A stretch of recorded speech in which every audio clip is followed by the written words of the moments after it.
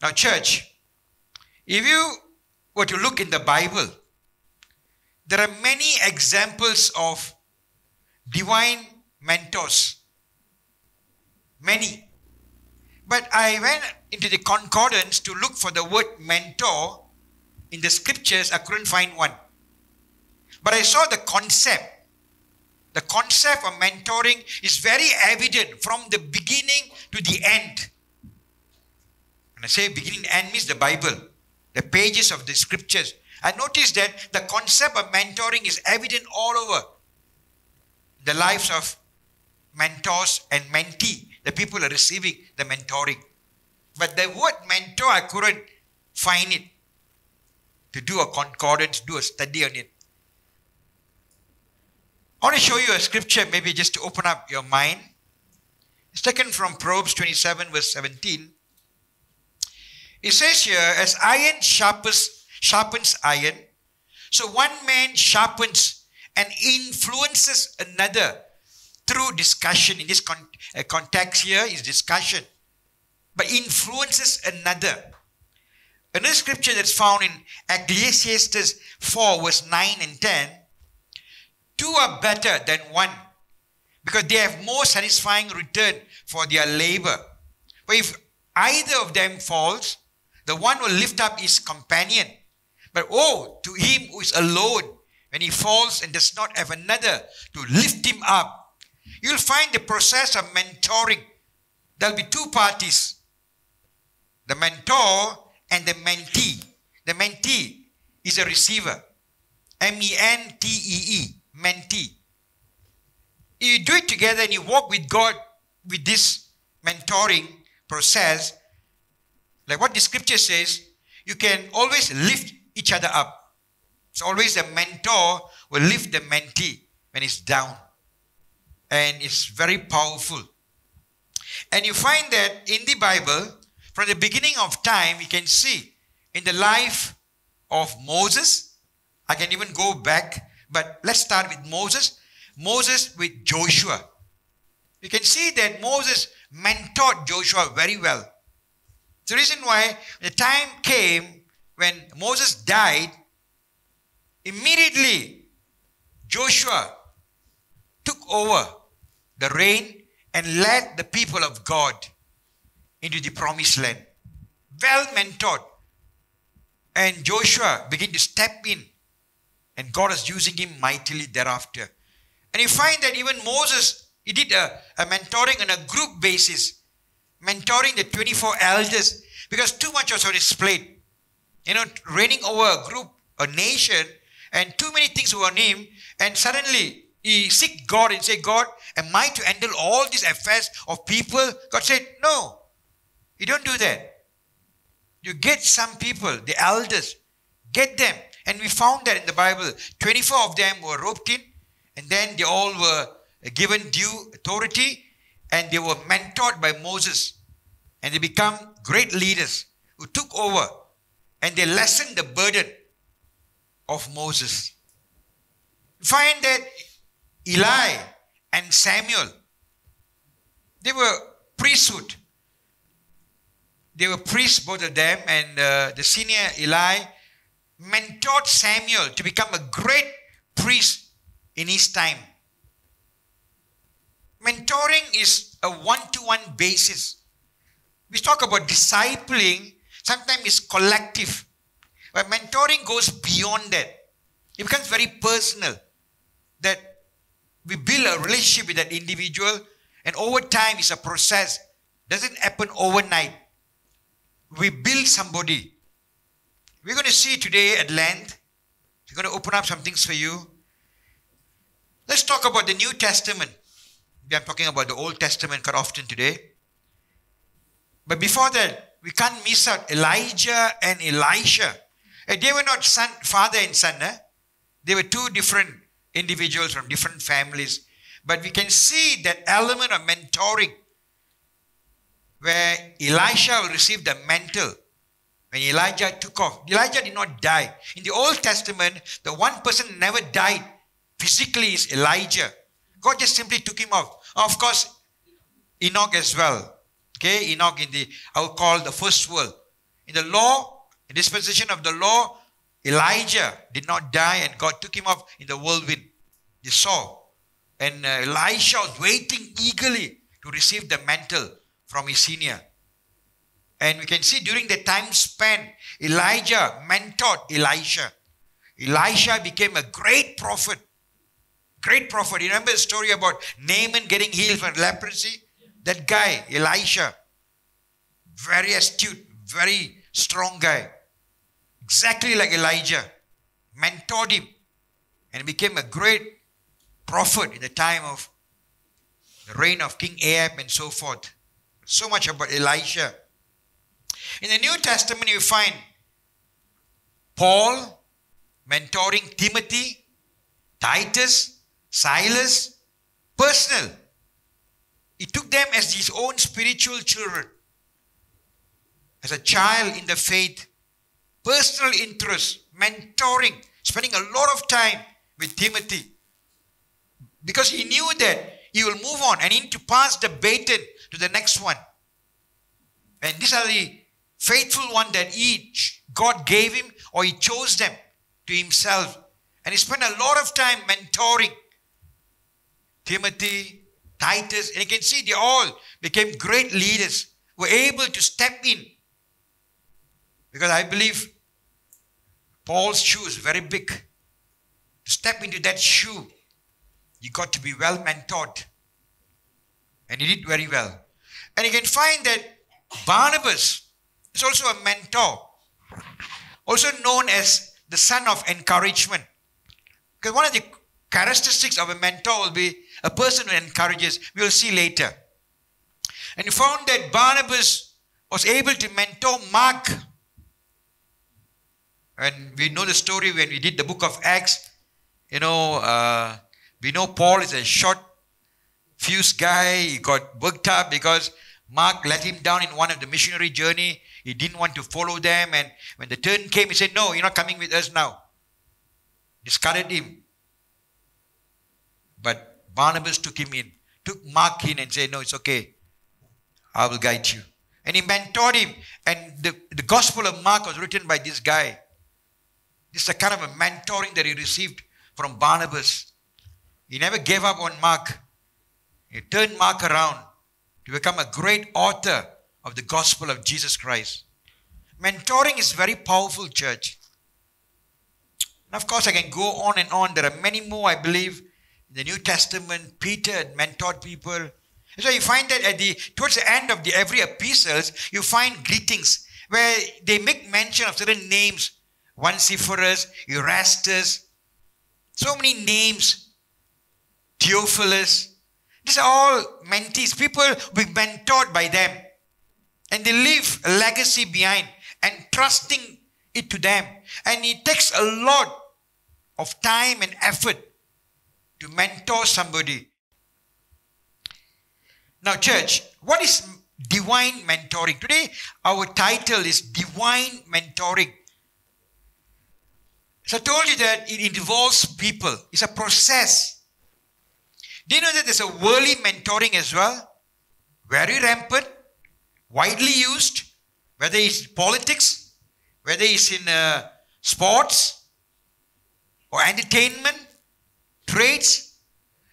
You find that sometimes you notice that the father or the grandfather is a politician, a minister, or a, a, a, a member of parliament. Many a time you can find the son will take over. Or even a grandson will also follow the path, like the Kennedys and in America and even in Malaysia. Even in the aspect of uh, entertainment, great singers, great dancers, somehow you can see their offsprings, their children or grandchildren take the same kind of a lifestyle because over time because they are exposed and this person mentors them. They give their life and impart to them whatever they have learned and acquired, imparting to the next one. The world does that. In every sport as well, we can see. Most of the time, so and so, and then the son or grandson becomes also a sportsman and become the best in that field. Because they were well mentored. Because they got first hand teaching and guidance. It could be their parents, someone that's very close, uncle. So even in the world, even in the office management level, a big companies will mentor somebody to take over the reign of the company so they can manage and take the company. A big company like a, a conglomerate or a consortium, they've got so many employees.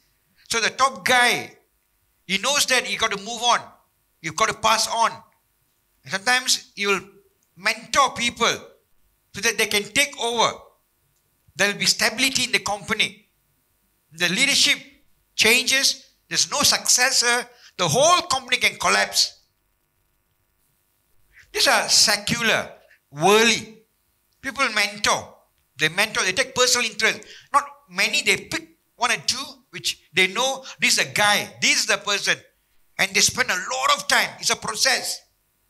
Sharing all their life, being very transparent before them, telling them exactly what's the condition, how we can take further, what are we doing, where are we going, where are we heading. It's mentoring, passing all the secrets and all the uh, things. In the same token, in the spiritual world, God also does the same thing. Jesus mentored his disciples. He's the chief mentor. Jesus Christ, the master mentor. You can see that three years of his ministry, he took time to be with them, spent a lot of time sleeping, eating, doing things together with them, taking them together wherever he goes. So, this mentoring is something that is a close, intimate relationship. And the Lord knows that He will die at the cross and go back to heaven where He came from. But before He goes back, He did a marvelous work in 12 of them where they took the gospel to the world. Very well mentored. We don't hear so much about the other guys, the 12 disciples, but very the inner circle we can see like John, James, Peter. This is the inner circle.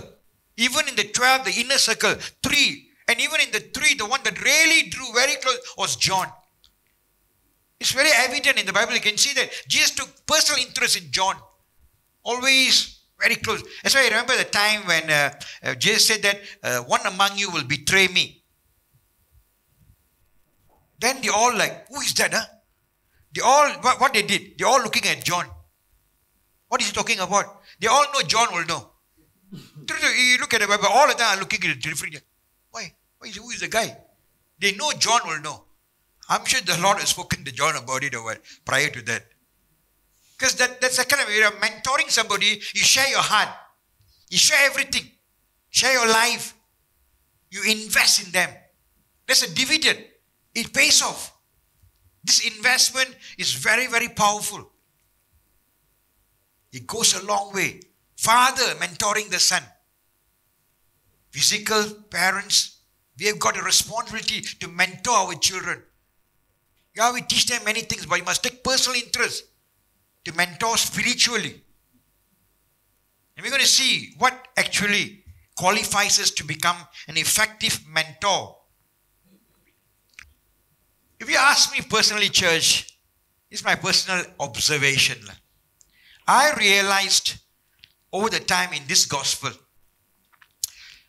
that the effectiveness of one's conversion or even their growth over time in the spiritual life in this gospel had always been because they have somebody to mentor them. I can see it. It's not an off kind of one-off thing where you just preach the gospel and then after that it's so platonic.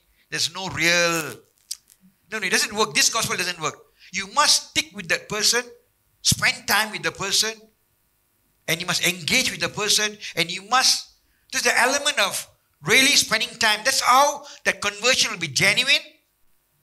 And more than that, if you have got people already saved and God put them under your leadership to mentor them, you spend time with them over time, I tell you, you can turn them around you can turn them around. You can see that you are able to lead them to that place. But we need mentors. We need mentors in this church. That all of us will play our role to mentor. That that process of mentoring, the divine mentoring, will become part and parcel of a Christian faith.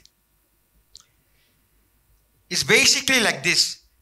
Mentoring is when someone who has been there and done that, take someone who's getting there and doing that under their wings. Because you're able to show them what has been done and what you have already accomplished and you're doing and you're leading them in the same path so that they too can acquire the knowledge and know exactly. I'm talking about spiritual here. I'm not talking about politics and sports and entertainment. No, no, no. I'm talking about spiritual mentoring or divine mentoring. This is my focus today. And uh, who can be a divine mentor? No, I want you to know, church, that age is not the criteria, it's the experience. When I say experience, it's a spiritual experience of that individual who have walked with God. You may be old, but your experience with God may be very little. But it can be a young person, but over time, because you're always engaging and walking with the Lord, you grew and you have grown over time to take that position as a mentor. So it's not the age. And of course, in this church, in this church, you will recognize that you got to be born again first. If you're a born again person, have the indwelling Holy Spirit, then you qualify to become a mentor.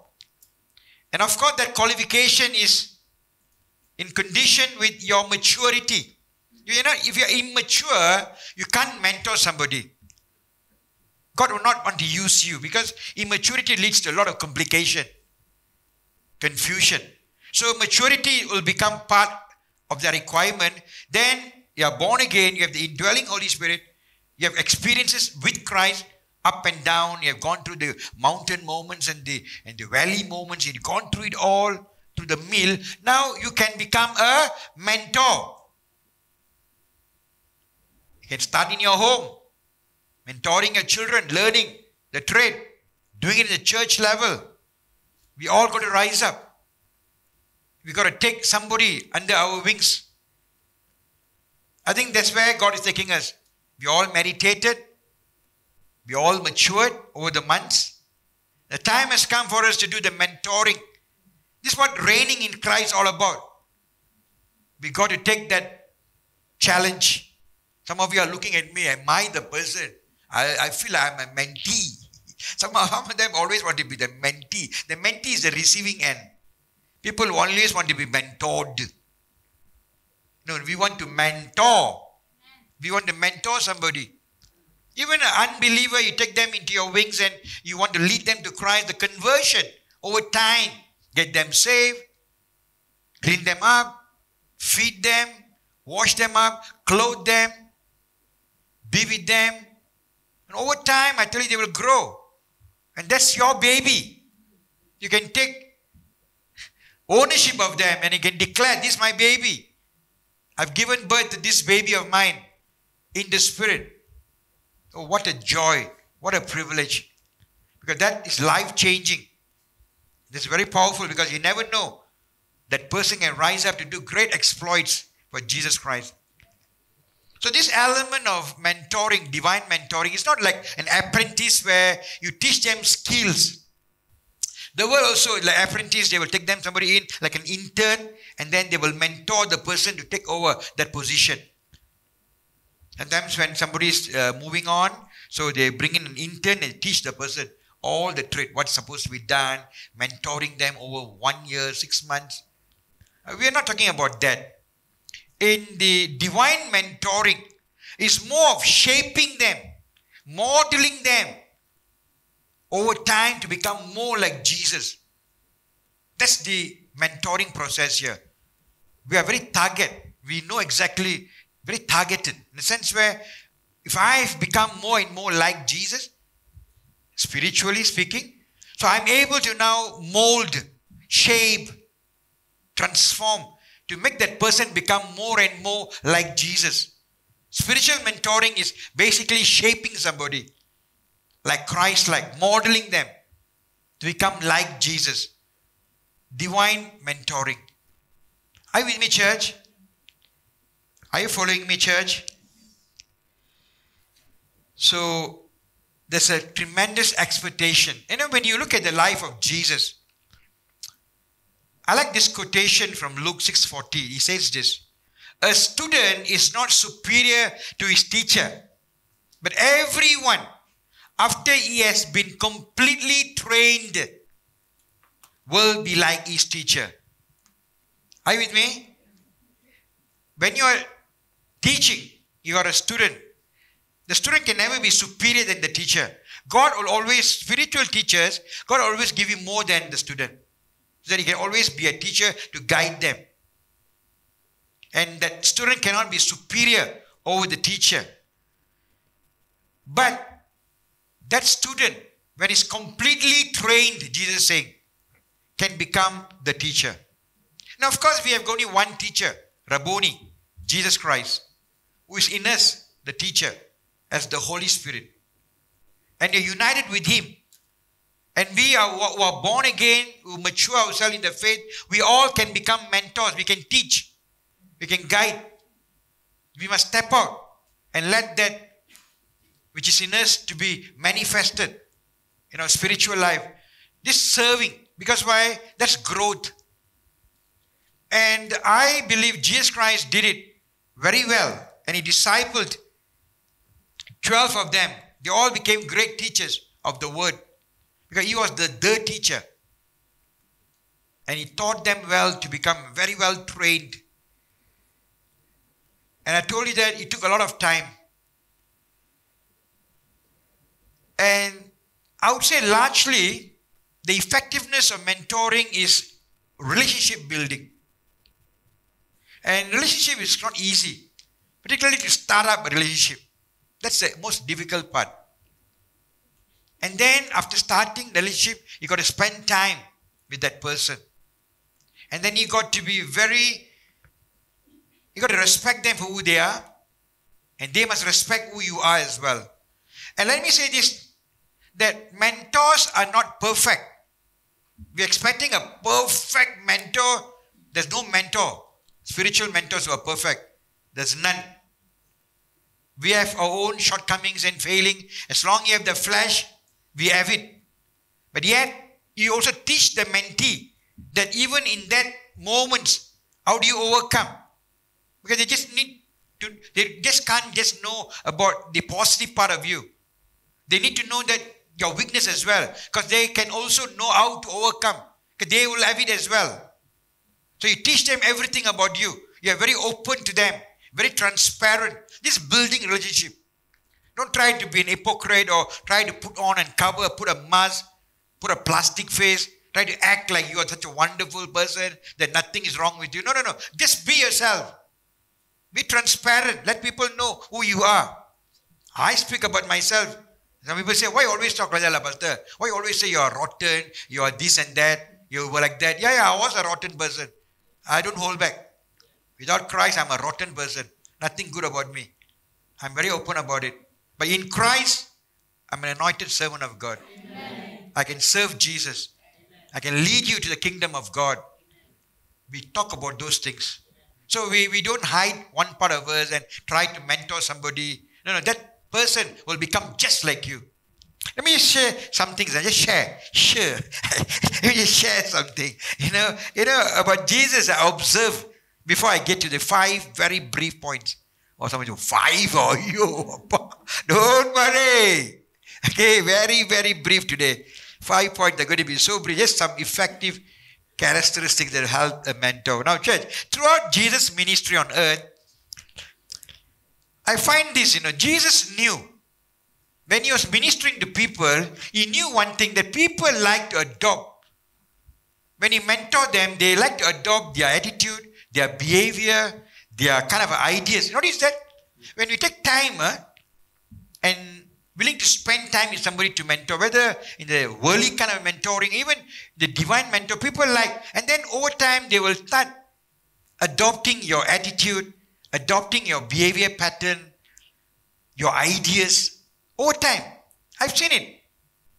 And Jesus knew that. Human beings like that like to ape ape somebody. You can see what today trends and fashions and hairstyle and the footballers they just go and chop something here and chop here, put a cross here, put one line here. I saw everybody was doing it. It all started out with some guys. You know, eh, they cut here and then put some line here, one line there. It's all going on. The craze suddenly now no more already. Now you don't see that. So over time, people like to ape, like to see people and do things, take their ideas, take their kind of attitude, their behavior. This is human nature. We like to. So we want to be very careful that we don't take things that is not desirable for Jesus, but rather the things of God, the divine things we want to also imitate when it comes to spiritual matters. So Jesus tapped on that. So he knew there are some guys there who like to adopt. So he availed himself. They all became like Jesus over time. It's how Timothy, Titus became like Paul over time. And another thing that I noticed that Jesus, he knew that people like to learn through examples. People learn a lot through examples. Your family can see your children. That's why parents have a responsibility. They are an example to their children. I'm not saying perfect parents here. Let me reiterate this again. Parents are weak, vulnerable, lacking, and uh, but we love the Lord. We love Jesus. We want to give Him all the best to Him. So our children they copy the father. The father or the mother become the hero or the heroine. Because you set an example for them. And people learn a lot. Jesus knew that. You look at the ministry of Jesus, he knew that and he tapped on that. That's why he became a very effective mentor. We knew that people like to follow examples. So in the church, we got to set examples for the others to follow, to imitate. We must be daring. Don't let the devil deceive you. Yeah, we're weak, we're vulnerable, but let do the right thing in Christ, and people will follow you. People will follow you. You can set an example. And let's start from the home. That we'll set good examples that the children have something to follow. If you're not consistent, you'll find the children not consistent as well. You're not diligent, the children will not be diligent. I'm talking about spirituality here. You're not serious with God, your children will never be serious with God. If you don't, if you don't honor the church of God, you can be rest assured they will never honor the church of God. Because they spend much time with you. So we set examples. Just live out that life. And you see, over time, they just become what you are. And of course, Jesus knew that. Another thing that I can see that the way he tapped into this aspect of mentoring, that he knew that people learn through experiences. So when you're mentoring somebody, experiences of your life can be shared. Iron sharpens iron. You talk to them. Experiences impacts your life. And that impact, and they don't have to go through whether it's a good experience or a bad experience. When you share and mentor people, you become very effective. They, they get moved and they drawn closer. And Jesus tapped into those things, experiences. I can go on and on. And this thing, you know, Jesus knew people can tell what people will become like by observing who they regard as their mentor. Do you understand what I say? If you're mentoring somebody, when I look at you from the outside, eh, I can know one. What? Who are you mentoring? By your behavior, I can see. Ah, this guy is mentoring Michael Jackson. Because they will also will dress up like that. They also walk. Sometimes certain people like celebrities, superstars, and icon. Eh, we can see sometimes the people like to follow and you look at them, you, oh, I know who is mentoring. And then this tendency of uh, members becoming like the pastor.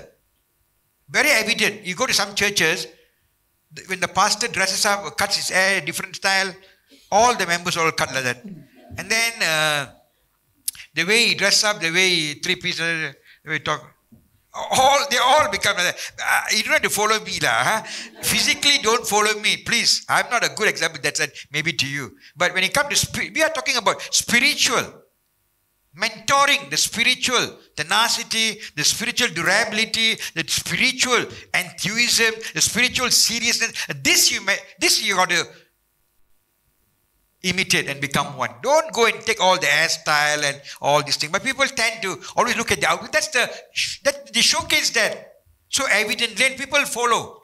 They talk like the pastor. Do you see that? Jesus knew that, you know.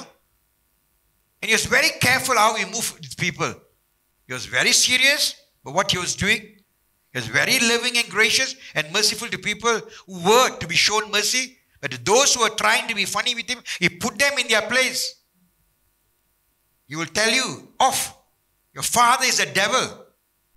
Do you know that the snakes in their heart? This Jesus talking, uh, where got love, uh, no love at all. Uh. He's, he's very uncompromising. He knew. He knew them and he meant it. But that's love. You speak into their life and tell them exactly what's happening to you. People don't like it. But we are in the business of redemption.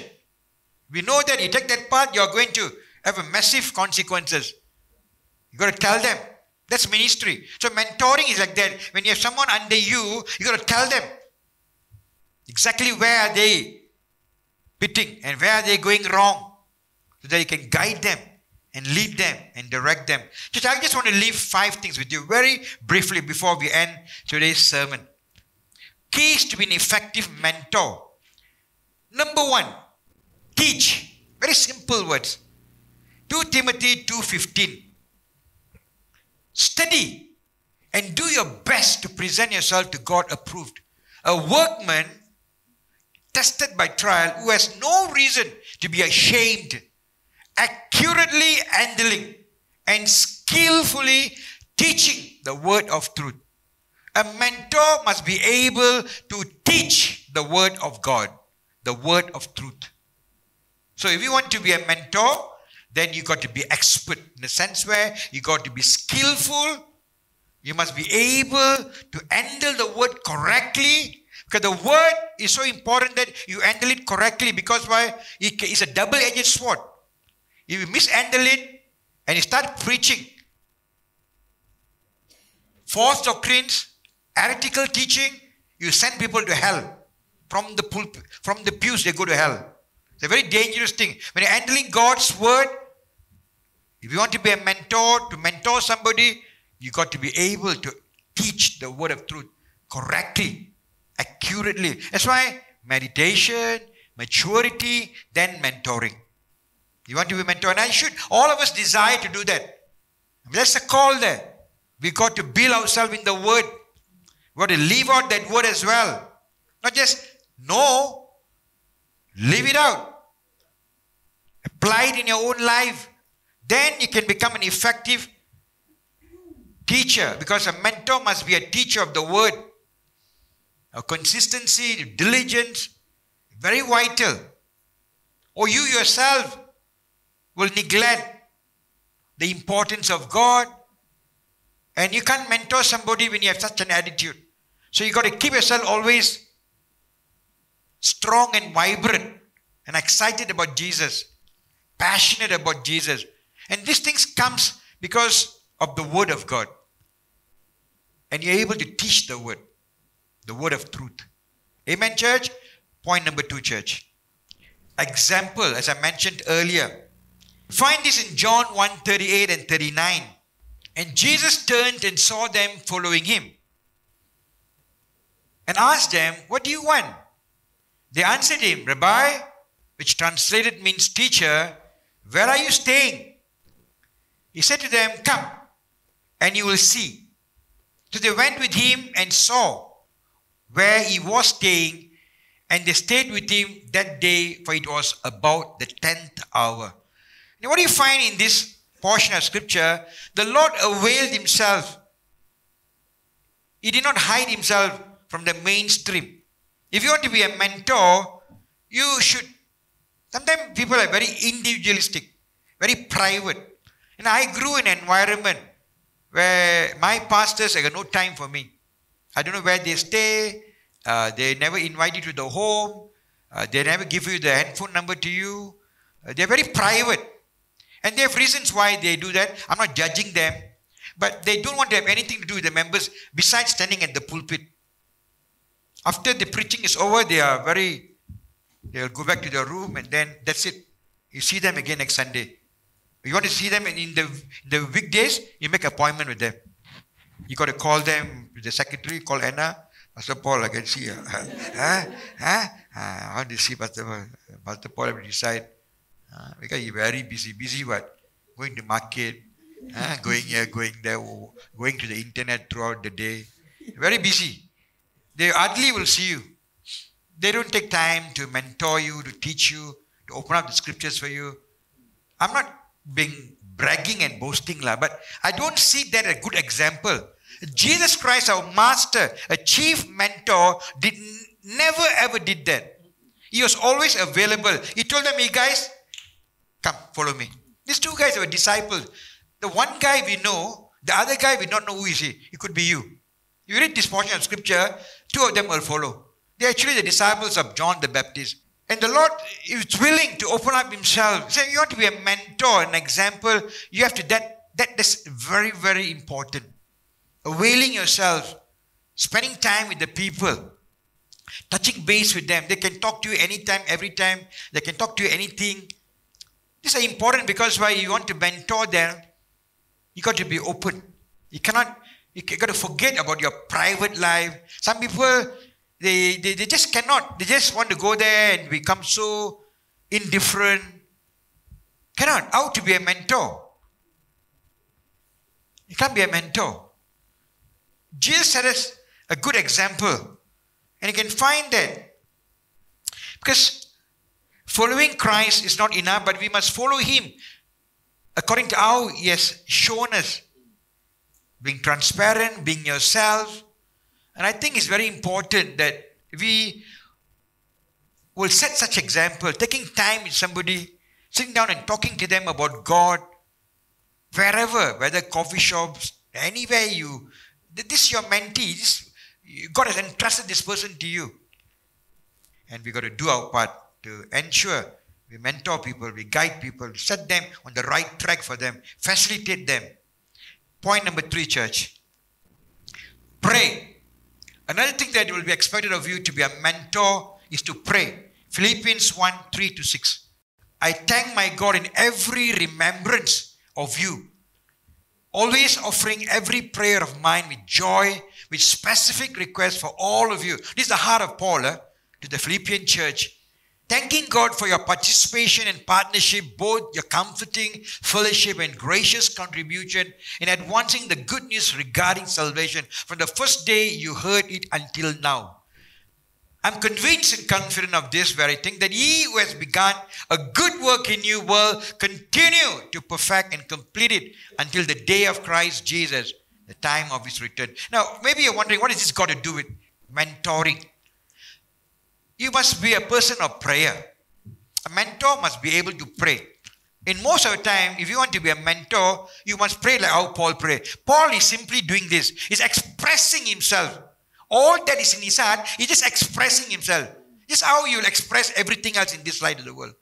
You know, sometimes we talk to people, we just express everything. You know, we make known to people how we feel, what you think about so and so. We say about it. This is prayer. Prayer we want the Holy Spirit to pray through you. You just, you know, this is what I'm praying for. This is what I want to express like God. It must be from your heart. Pray in the Spirit to the Father in Jesus' name. Let the Holy Spirit do the work of prayer. Everything spiritual is done by the Holy Spirit. You're just merely an instrument.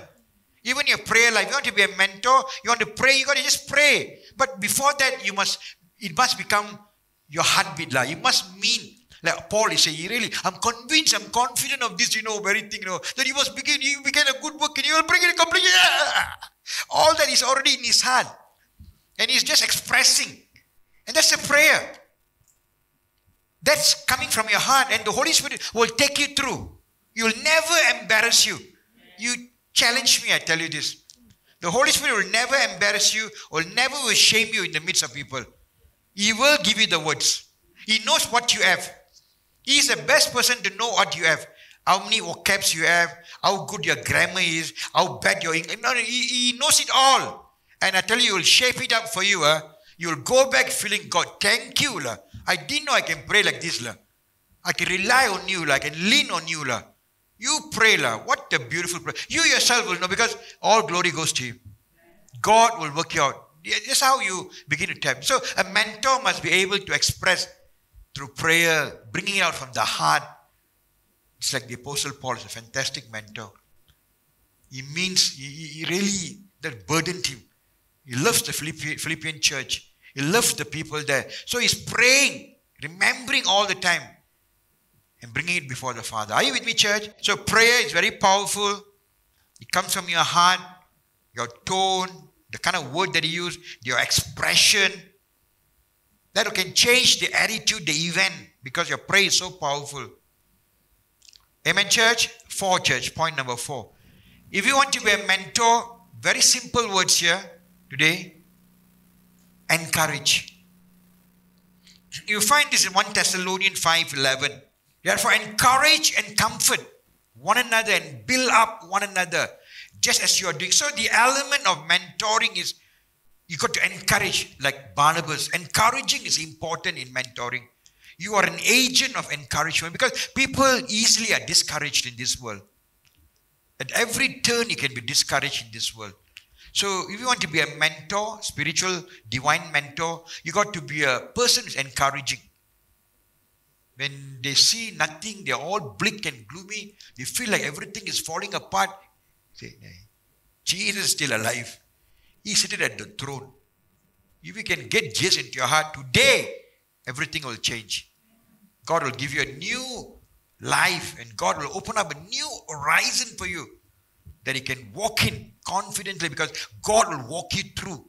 Oh, so a mentor is always a person who is like a troubleshooter, always encouraging, always giving the kind of input. And I think our church, we stand for that. I do see in most of you, you have that kind of a gifting. Most of you are very encouraging. And I think you all got to rise up to another level of becoming mentors, taking somebody that you think that are struggling or very discouraged or not really doing well. Let's start our church as a kindergarten here. We learn. Then you can take it to the world. God will bring somebody on your path. Through encouragement, they can be converted to Christ. Then you can build them up even before bringing them to church. Building them up, you know, talking to them over WhatsApping them. You know, mentoring is not just direct. Today we have all the technology, all the tools we have.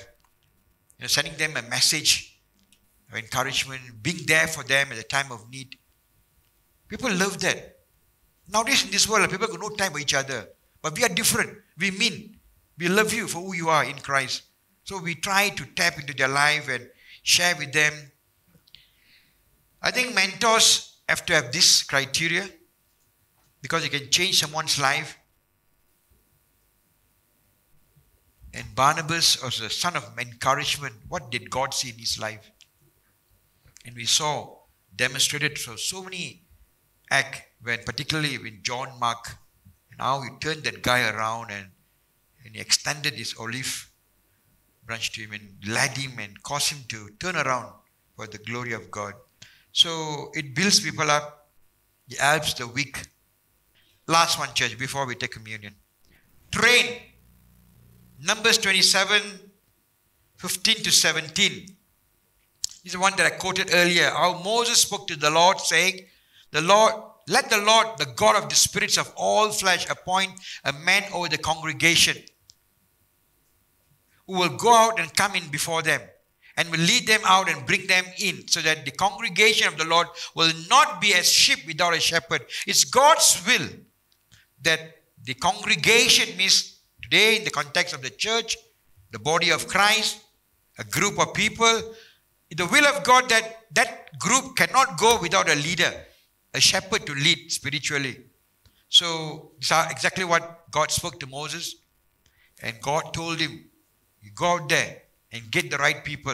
And you can see even Paul, he always, in the book of uh, Timothy and Titus, always telling to Timothy, Hey, you go and get some qualified, competent teacher, those who are faithful and approved, bring them in and guide them, lead them. Because Paul knows that that time moves very fast. We need people who can take over and start running God's business.